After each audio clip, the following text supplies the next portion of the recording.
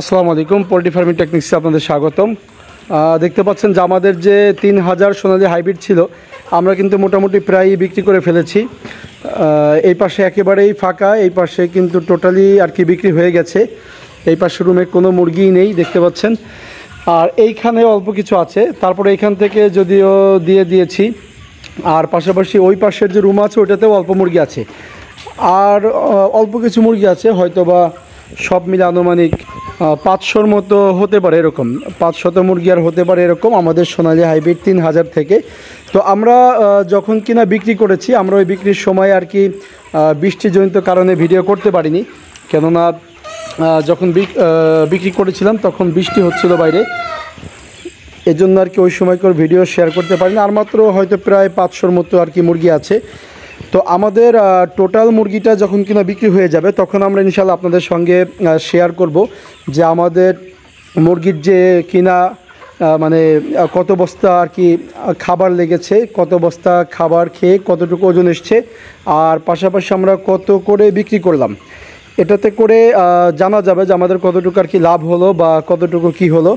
তো এটা ইনশাল্লাহ এই বাকিগুলো বিক্রি হওয়ার পরে আমরা একবারে টোটাল যে কিনা আমাদের সোনালি হাইব্রিড তিন হাজারের তিন হাজারের আর কি এফসিআর আছে। এফসিআরটা আপনাদের সঙ্গে শেয়ার করতে পারব যে কতটুকু খাবার খেয়ে কতটুকু টেস্ট ছিল এবং মোট আর কি আমরা কত টাকা আর কি পেলাম। যদিও বাজারের অবস্থা একটু ডাউন এটা সব জায়গাতে বৃষ্টিজনিত কারণে হতে পারে, আরও বিভিন্ন কারণে হতে পারে, এটা আপনারা সকলেই জানেন।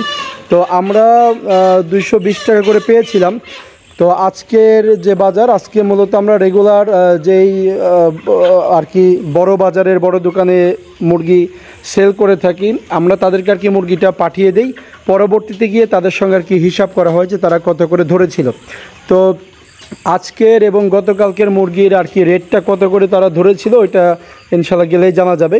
কেননা আমরা দেখা যায় যে তাদের তাদের সঙ্গে আমাদের প্রায় চব্বিশ বছরের আর কি ব্যবসা চলছে। আমরা একেবারে চব্বিশ বছর যাবতই আমাদের যা মুরগি হয় সব ওই এক জায়গাতেই যায় এবং মুরগির সংখ্যা বেশি হলে পরে অনেক সময় বিভিন্ন জায়গায় যায়, বাইরে থেকে হয়তো বা বড় গাড়ি আসে। তো আপনাদের সঙ্গে যদিও বিক্রির সময়কর ভিডিও শেয়ার করতে চেয়েছিলাম কিন্তু বৃষ্টিজনিত কারণে সেটা হয়ে ওঠেনি। তারপরেও ইনশাল্লাহ চেষ্টা করব আগামীকাল যখন কিনা এই সবগুলো মুরগি বিক্রি করা হবে, তখন ভিডিও শেয়ার করার এবং পরবর্তীতে আগামীকালকে ইনশাল্লাহ জানিয়ে দিব যে আমাদের টোটাল কত বস্তা খাবার খেয়ে কত কেজি এসছে এবং আমরা কত করে বিক্রি করেছি।